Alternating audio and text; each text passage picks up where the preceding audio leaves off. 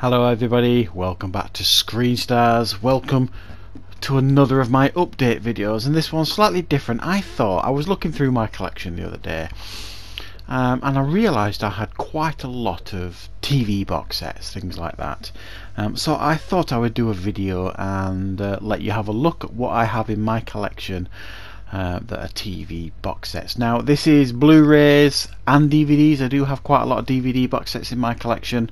Um, I always do like to get round to update DVD box sets to Blu-rays, but they can be quite pricey, especially TV ones. So I always try and wait for the right deal. Um, and I have got more than um, I thought actually when I was looking through them quite a lot. Now there's a couple that I don't have, uh, mainly because I lent them my brother a few months ago, and because of lockdown and the COVID outbreak in the UK, I've not been able to get them back yet. One of them being a Twilight Zone box set that I got, I won in a competition last year uh, from Carl, uh, Carlos over at Eastwood for Life fans channel. Um, and I think a couple of other box sets that he might have over there as well that I can't just remember what. Um, so there's not absolutely everything here, but there's pretty much everything I could put my hands on fairly easily, certainly. So we'll make a start, and this will be a combination of Blu-rays and DVDs got them stacked up here and here and I'll just reach and grab and show. Now any of these that we go through now, if you would like to see a more detailed video on any of these box sets, if you want me to do uh, that, just let me know in the comments and I will consider doing that if there's enough demand for that. So we'll make a start and the first box set I will show you is one of my favourite TV shows of all time, Battlestar Galactica box set, Blu-ray box set. I picked this up last year, not last year, uh, I think it was 2019. So the lid comes off, get the nice book, and then the whole show is like stacked in there like that. Uh, so you get everything in there. Um, I'm not sure you get all of the like TV movies and things like that. I haven't watched it yet, even though obviously I've watched the show. Um, but I'm trying to convince my wife to maybe give this one a go but she's not a big fan of sci-fi so I think I've got my work cut out. So that's Battlestar Galactica Blu-ray box set. Highly recommend that show if you've never seen it. Next up is we have one of my favourite shows of all time again Supernatural. This is seasons this is a Blu-ray box set and it is seasons 1 to 12 and they're all stacked up in there like that you may well have noticed I started reviewing them on the channel. I think I got up to season 7 um, and we're about halfway through season 8 but we haven't watched it for quite a while now so I'm hoping to pick that up again those reviews this year. There we go. So that's seasons 1 to 12 and as we know they've just finished on season 15 put that there. And then I picked this up separately on it's not even been opened yet on eBay last year at some point I think it was. Supernatural complete season 13 so I still need to get season 14 and 15 when that's released. And then I'll have the complete Supernatural collection. Fantastic show right what should we do next? Yep another Blu-ray box set and that is Sherlock. Seasons 1 to 3 uh, this is really quite cheap to pick up. If you want to get Sherlock seasons 1 to 4, which is where they're up to I believe, it's actually quite expensive so I thought I'd get these for now. And if I'm honest I'm not a huge fan of season 4 even though there are some good bits in it. So you open it up and you get you get them like that inside. Another great show if you've not seen it I'm sure most of you have heard of it Sherlock I know in America they've got their own version of this show with Jonny Lee Miller I believe is it who plays Sherlock. Um, but I think most would agree that this is the superior show. Right. Let's move these out of the way. Next one.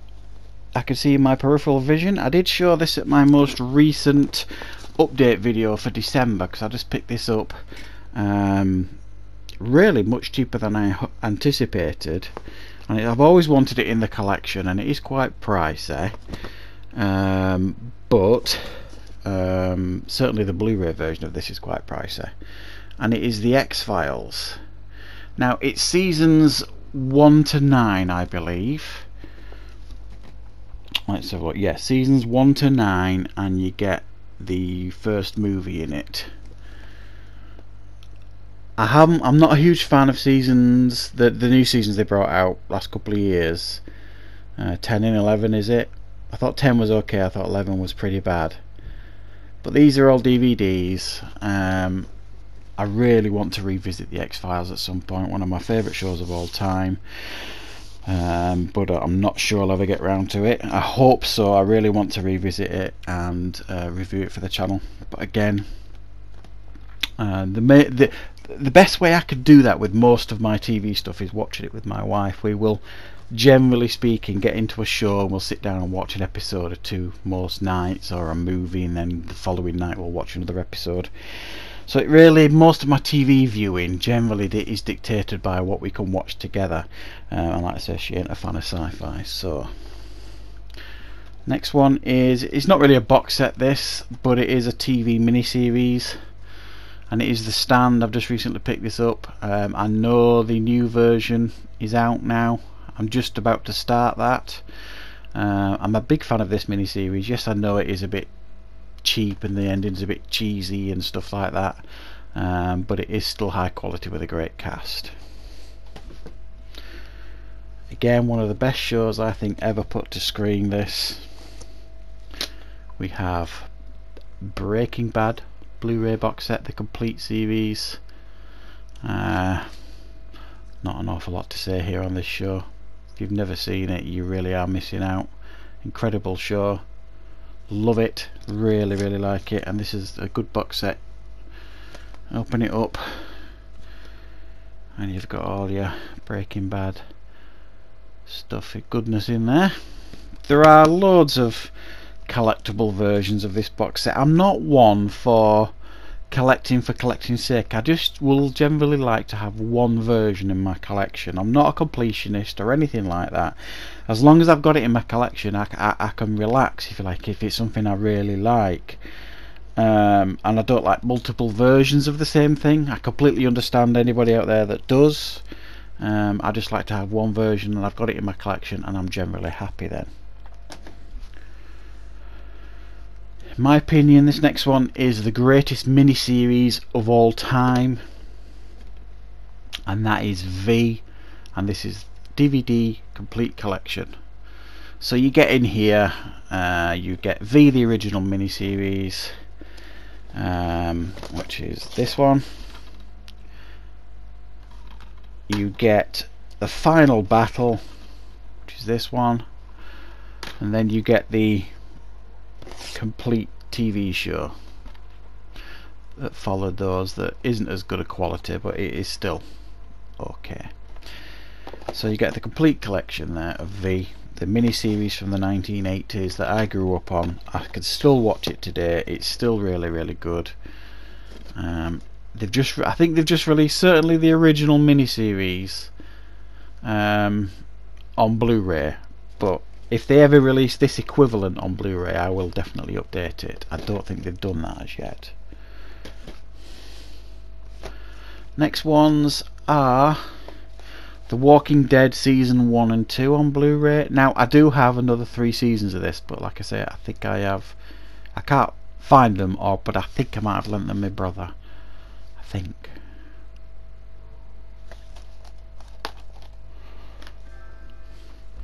Um, I have just picked this up and I will be showing this off um, at my next um, collection update video which will be at the end of January. I've just picked this up and that is Dexter the complete series. Now if you've been following the channel you know that I've been collecting Dexter. Um, I made a bit of a boob initially. I thought it would be quite easy to pick on Blu-ray so I started buying some of the Blu-ray series and then some of them turned out to be really expensive. Um, so I did a combination of buying the first six seasons on DVD and Blu-ray so it's mix and match which I'd never like. Um, and then to get season 7 and 8 on Blu-ray it was going to cost considerably more than it cost me to pick this up. So in my mind I thought well I'm going to get this. This is this is a DVD box set. I will sell the others that I've picked up and that'll make back the money I paid for this. Um, and it's a nice tidy box set with all the seasons in there. Again the Blu-ray version of this is quite pricey so I'm going to wait until the new season comes out uh, which will which is coming out this year in 2021 I'm sure they'll release some kind of box set following that and then I will aim to pick that up eventually. But this will do me for now. This the price on this varies quite wildly but I managed to pick this up for 19.99 online. Pretty pleased with that. Next another one of my favorite shows. Um, I did have these uh, these are DVDs. I did have these originally and I ended up getting rid of them a few years ago. It took me a while to collect them again, but I won't be getting rid of them again. And that is Angel. Okay, now you can pick up a few different versions of this box set. I'm not even sure if it's actually on Blu-ray this. I wanted this version, which is almost like a book. Very nice. Um, box set I think even if it is DVD always liked it. This was about when you when this first came out because I remember getting season 1 and season 2 for Christmas probably in the early noughties um, being really chuffed with it. And they were about 40 50 pound each at that point. You could pick these up really really cheap. In fact I think I got a couple of these seasons for about a pound each on a car boot once or something like that. So cheap. Um, so that is season 1 pop that there hang on pop that there. And then obviously we have where are we? Um, season 2 the same version in regards to the style of the box set. Like I say much nicer versions than the some of the other box sets they have for Angel. Season 3 you don't know what Angel is, it's a spin-off from Buffy the Vampire Slayer, and in my opinion, in my opinion, it's the superior show. But some will probably disagree with that, and that's fair enough. Season four.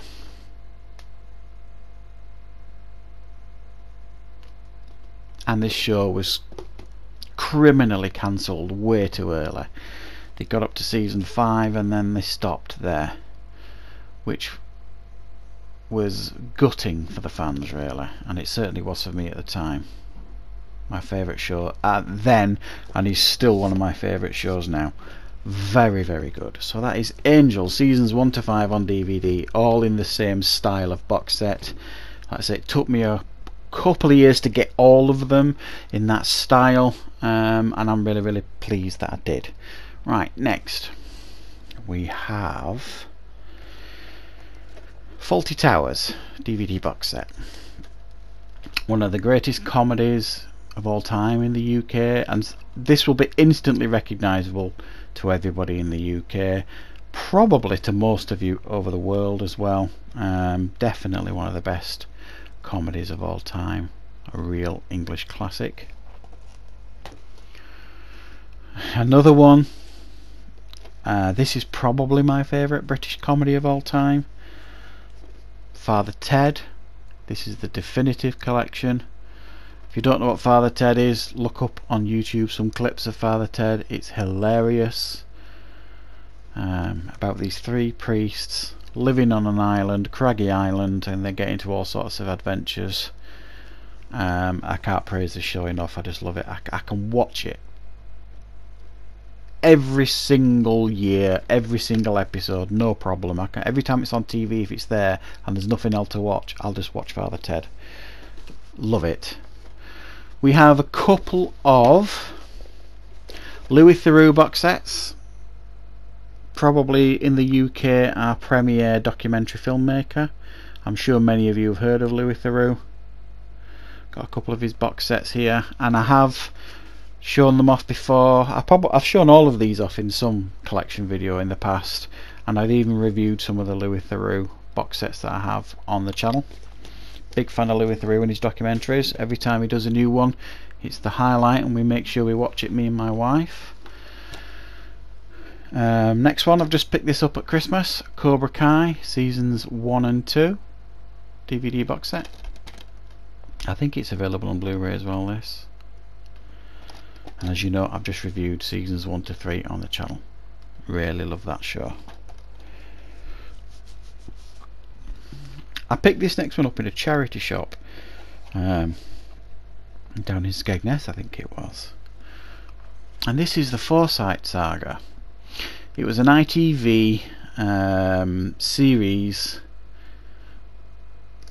10 episode series, um, a famous story. Um, they've done a few different versions of this. Now, this was one of the early things that me and my wife ever watched together. I think it came out in about the year 2000, something like that um, certainly the early days of um, the noughties anyway.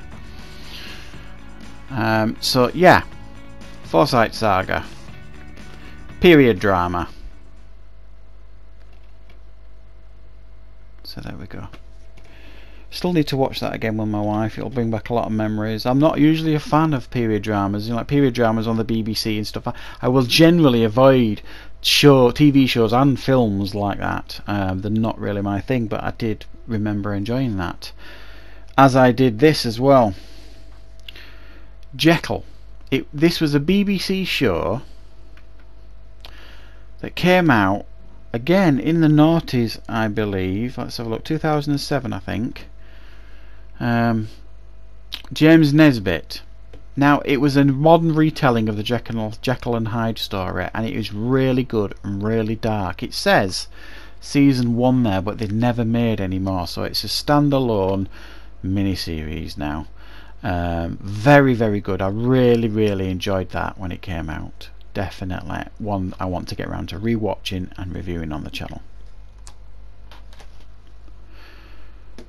Uh, the next three are uh, an Idiot Abroad 1. An Idiot Abroad 2. And Carl Pilkington's Moaning of Life. Now, if none of that, if those don't mean anything to you, that's it's it's like a British. These are British shows starring a guy called Carl Pilkington, where he goes on. Um, he travels around the world. He's a really grumpy guy who nothing really is interesting to him, and it's like that's why they call him an idiot, and they send him abroad. And it's Ricky Gervais as one of his best friends, and he sends him abroad, and it's very, very funny. The shows that he does, Carl Pilkington. So I do urge you to check them out if you've never seen them. Very funny.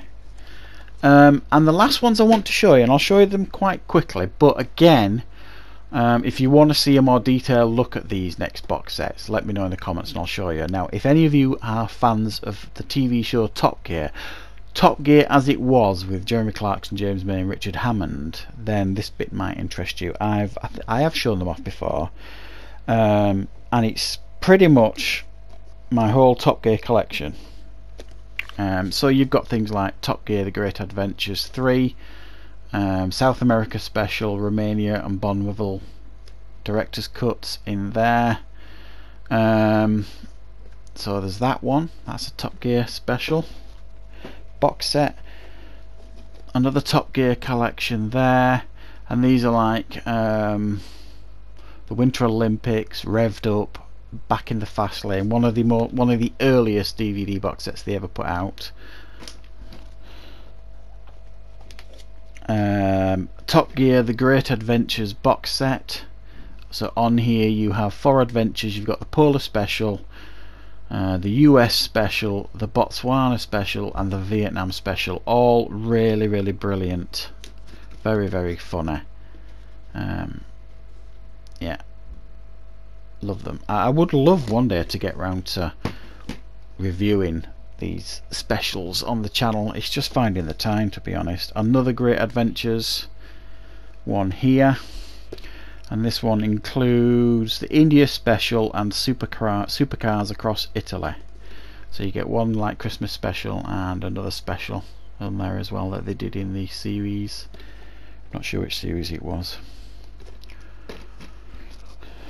More Top Gear here. The Great Adventures 4 and this has on it Middle East Special and the US and Albania road trips. There. So Top Gear as it was. I mean, I'll be honest, I don't know what it's like now because I don't watch it. I watch the Grand Tour. Just get these down here. Um, I'd have, I stopped watching Top Gear when these guys left. It wasn't Top Gear anymore to me. Um, so we've got this Top Gear one, the Great African Adventure.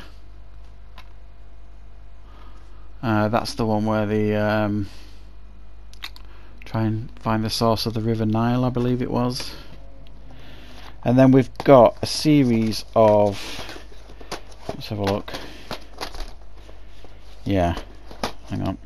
Got another special here. The Burma special, that's one of my favourite specials where they have the trucks across Burma. Top Gear, the worst car in the world, in the history of the world. And then we've got a series of Top Gear DVDs. Now these were highlights of the show's challenges that they do on the show. So this this one, it's things like uh, the Ashes, um, four seater convertibles. I mean, there's there's loads of challenges on there that they did in some of the series.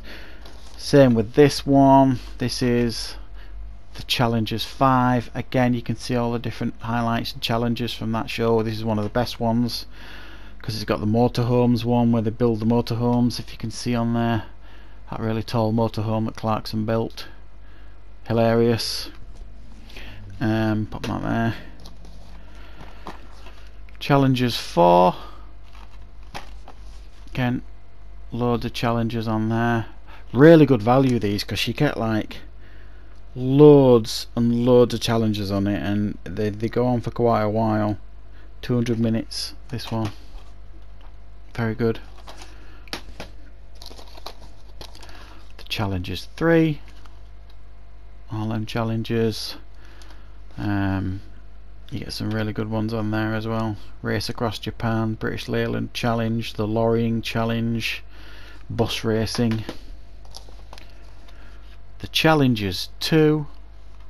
Um, and on here you've got the 24 hour race, the Greatest Driving Road, Race Across London, Amphibious Cars, the sequel where they go across the channel in amphibious cars that they build and the very first one the Challengers.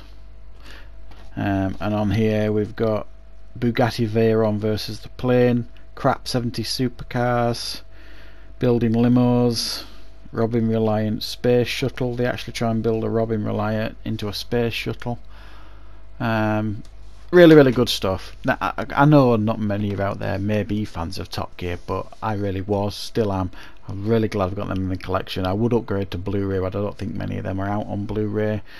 Um, so that is barring a couple of exceptions and I'm just looking around to see if I've missed anything all my TV box sets. Um, so yeah I think I will be showing I think I've got another couple in the post as well um, that I'll show off um, when I do my latest um, collection update video at the end of January. Um, but yeah I thought it was would be nice to show you what I have uh, in my collection that are TV related stuff. So I hope you enjoyed it. Thank you very much for watching. And of course I will be back very shortly with more content on Screen Stars